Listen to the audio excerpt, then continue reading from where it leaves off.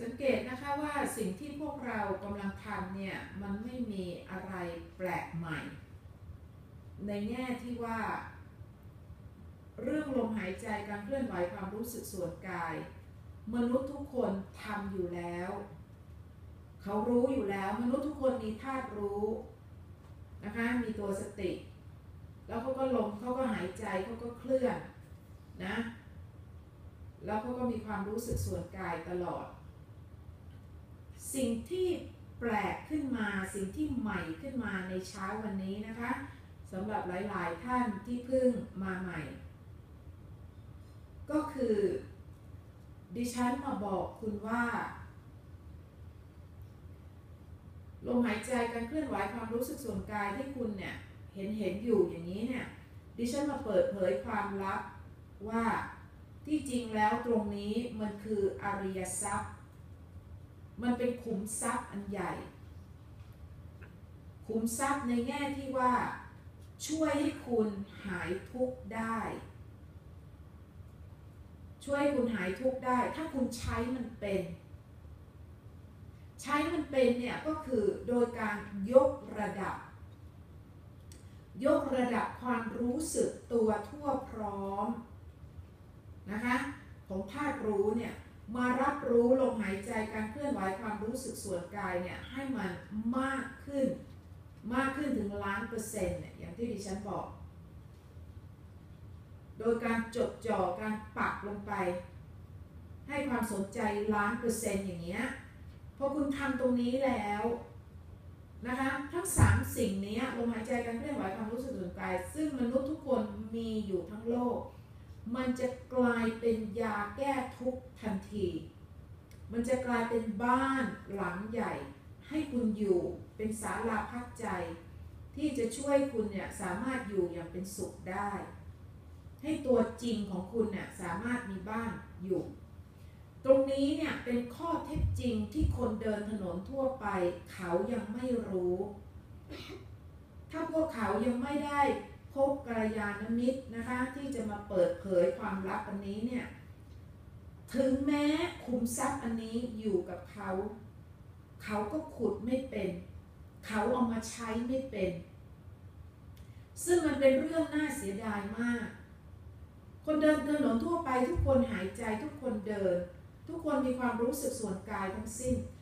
แต่เขาไม่รู้ว่าเขากำลังมีขุมทรัพย์ติด ตัวเขาอยู่นะคะเปรียบเทียบอย่างนี้นะคะว่า คนเดินถนนทั่วไปเนี่ยเขาพกยาพาราเซตามอลซึ่งแก้ปวดหัว มีแผงหนึ่งอะพกติดตัวไปนะคะ แต่เขาไม่รู้สรรพคุณของยาพาราเซตามอลอันนี้ว่ามันแก้ปวดหัวได้ ฉะนั้นคนเดินถนนเหล่านี้เขาก็เลยเดินไปตามถนนแล้วเขาก็บ่นตลอดเวลาปวดหัวจังปวดหัวจังปวดหัวปวดหัวปวดหัวโอ้ยไมเกรนมาอีกแล้ว โอ้ยปวดหัว โอ้ยจะอาเจียนอกอักโอ้ยไมเกรนบนบนบนบนอย่างนั้นปวดหัวจริง ๆ จนกระทั่งวันหนึ่งมาเจอหมอ หมอก็บอกว่าอ้าวคุณไม่รู้เลยว่าไอ้ยาแผงนี้ที่คุณพกใส่กระเป๋าเนี่ย มันแก้ปวดหัวได้นะ ทำไมคุณไม่กินอะ ไม่รู้เหรอเขาบอกอ๋อเหรอไม่รู้ไม่เห็นมีใครบอกเลย ใช่ไหมค่อยมาถึงบอกอ้อโง่มาตั้งนานโบนอยู่นั่นน่ะปวดหัว หารู้ไหมว่าไอยาพาราที่พกอยู่น่ะ มันแก้ปวดหัวได้ ถึงเอามากิน ปวดหัวก็หายไปไมเกรนหายไป ชั้นใดก็ชั้นนั้นนะคะ มนุษย์ทุกคนในโลกนี้ ล้วนพกยาแก้ทุกข์ ยาแก้กลุ้มใจยาแก้คิดมากฟุ้งซ่านติดตัวแล้วทั้งสิ้นนะคะ แต่มนุษย์เหล่านี้เขาไม่รู้สรรพคุณของยาแก้ทุกข์ที่เขาพกอยู่ เพราะมนุษย์ทุกคนมีลมหายใจ มีการเคลื่อนไหว มีความรู้สึกส่วนกายทั้งสิ้น ซึ่งเป็นเนื้อยาแก้ทุกข์นะคะที่มนุษย์ทุกคนพกอยู่กินไม่เป็น แต่เขากินไม่เป็น ฉะนั้นคนเดินถนนทั่วไปเดินไปก็บ่นกลุ้มจังกลุ้มจังเครียดจริง ๆ เลย โอ้ยปัญหามาจากไหนนะ โอ้ยวุ่นวายไปหมดกลุ้มกลุ้มกลุ้มคิดมากฟุ้งซ่านวิตกกังวล คิดวนคิดเวียนคิดซ้ำคิดซากนะบางคนก็ซึมเศร้าบางคนก็สติแตกไปบางคนก็ขาดตัวตายไป ทุกข์มากแต่ละคน หารู้ไหม่ว่า เขาอะได้พกยาแก้ทุกข์ติดตัวเขาแล้ว เขาไม่รู้ แล้วเขากินไม่เป็นนะคะ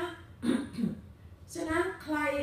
ที่เรียกว่าถูกลากมาจะถูกพ่อถูกแม่ลากมานะหรือคุณลูกก็ลากคุณพ่อคุณแม่คุณตาคุณยายมาอะไรอย่างเงี้ยนะคะ หรือเพื่อนลากเพื่อนกันมาอย่างเงี้ยเราก็ไม่รู้จะมาทำไมอะนะไม่อยากมาฉันไปทำอะไรอย่างอื่นดีกว่า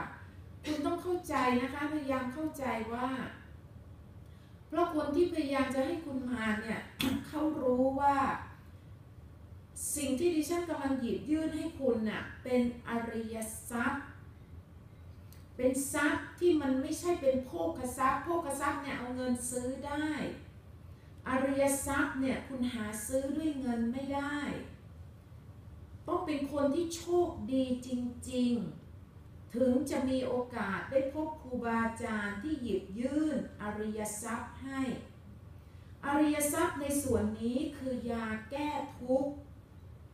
ยาแก้ทุกข์ที่พระเจ้าให้เรามาตั้ง 2,600 ปีแล้ว แต่คนส่วนมากก็ยังไม่เข้าใจ จึงเป็นหน้าที่ของดิฉันที่มาย่อย เอามาย่อยให้กับพวกคุณเนี่ยเพื่อคุณเนี่ยจะได้กลืนได้ง่ายๆ นะคะพยายามทำความเข้าใจว่าทำไมมันสำคัญ มันสำคัญเพราะว่าชีวิตของคุณต่อจากนี้ไปยิ่งคนที่มีอายุน้อยๆนะคะยังรุ่นรุ่นเนี่ยอายุน้อยๆเนี่ยสิบกว่า 20 กว่าเนี่ยนะคะชีวิตของคุณต่อจากนี้ไปยังต้องใช้ชีวิตอีกนานมาก แล้วโลกนี้มันอยู่ยากมากขึ้นทุกวัน มีปัญหาหลอกขอกแขกมีเรื่องท้าทายต้องแข่งขัน นะต้องแย่งนู่นแย่งนี่ที่จะหาเลี้ยงชีพเนี่ยฉะนั้นความทุกข์เนี่ยมันเยอะ เข้าใจไหมการคิดมากรุ่มใจเนี่ยมันเยอะ ฉะนั้นคนที่พยายามจะพาคุณมาเขาย่อมเป็นห่วงเขาอยากจะให้คุณเนี่ยสามารถที่จะช่วยตัวเองได้ทางด้านจิตใจ เพื่อคุณจะได้ไม่เศร้าไม่หงอยเหงา ไม่สติแตก ไม่ไปฆ่าตัวตายเหมือนกับตามข่าวต่างๆนะคะ ฉะนั้นคุณต้องพยายามฟังให้เข้าใจว่า มนุษย์ทุกคนเนี่ยล้วนมียาแก้ทุกข์ติดตัวแล้วทั้งสิ้น แต่เราใช้มันไม่เป็นเรากินยาเหล่านี้ไม่เป็น ฉะนั้นเช้าวันนี้เนี่ยดิฉันพยายามสอนวิธีการกินยาแก้ทุกข์ให้กับคุณ ดยแนะนำผู้กินน่ะผู้กินคือตัวใจของคุณน่ะตัวใจที่มีตาใจ ตัวนี้มองไม่เห็น มองไม่เห็นแต่มันมีอยู่ แล้วมันเป็นตัวพระเอกของชีวิตของคุณ ตัวพระเอกตัวนางเอกคือตัวเด่นเนี่ยในชีวิตของคุณ เพราะมันเป็นตัวจริง ๆ ใจเป็นนายกายเป็นบ่าวฉะนั้นตัวใจตัวนี้ที่มีตาใจจึงจะต้องเป็นตัวที่กินยาแก้ทุกข์ ของพระพุทธเจ้า จึงต้องเป็นตัวที่จะต้องกลับบ้าน หาบ้านที่มันอยู่ ทุกคนต้องอยู่บ้านเท่านั้นแหละ ถ้าคุณไม่อยู่บ้านคุณก็หลงทาง อาการของการหลงทางก็คือเครียดกลุ้มใจ คิดมาก ฟุ้งซ่าน วิตกกังวล ตกใจ กลัว กลัวอนาคต กลัวแก่ กลัวจน กลัวเป็นมะเร็ง กลัวถูกรถชนแล้วนั่งรถเข็นตลอดชีวิต กลัวไหมอย่างเงี้ย กลัวนะน่ากลัว นะคะ ฉะนั้นดิฉันก็เลยพยายามสอนให้คุณเนี่ยแนะนำวิธีการให้คุณเนี่ยรู้ว่าเราจะพาตัวใจกลับบ้านอย่างไร เพื่อตัวใจซึ่งเป็นตัวจริงของเราจะได้ปลอดภัยอย่างแท้จริงนะคะ มื่อตัวใจปลอดภัยแล้วอยู่บ้านที่ปลอดภัยแล้วศัตรู มันก็จะเข้ามาทำร้ายเราไม่ได้ศัตรูของเราก็คืออารมณ์ความรู้สึกกลัวเครียดเนี่ยอารมณ์เนี่ยกลัวนะวิตกกังวลคิดมากฟุ้งซ่าน สติแตกเหงาหงอยเบื่อ หมดอะไรตายอยากกับชีวิต ไม่รู้จะทำอะไรกับตัวเองดี มองอนาคตแล้วไม่เห็นอะไรเลยเบื่อสุดๆเนี่ยพวกนี้เนี่ยคือศัตรูที่กำลังทำร้ายตัวใจของคุณ เพราะคุณกลับบ้านไม่เป็นเข้าใจไหมคุณกินยาแก้ทุกข์ไม่เป็น ตรงนี้คือสาเหตุที่ว่าทำไมเราต้องมากินยาแก้ทุกข์ทำไมเราต้องมาพาตัวใจกลับบ้าน ทำไมเราต้องเอาสติปักที่ฐาน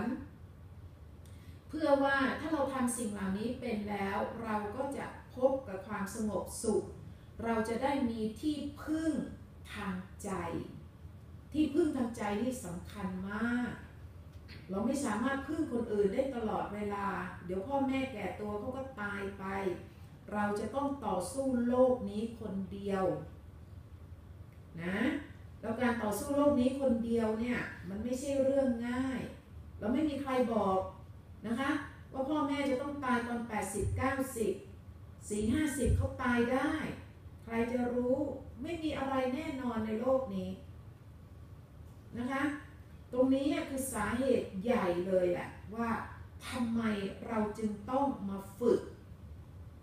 เรื่องสติปัฏฐานเรื่องพาตัวใจกลับบ้านเพื่อ เราจะได้เป็นที่พึ่งทางใจของตัวเองได้อย่างแท้จริง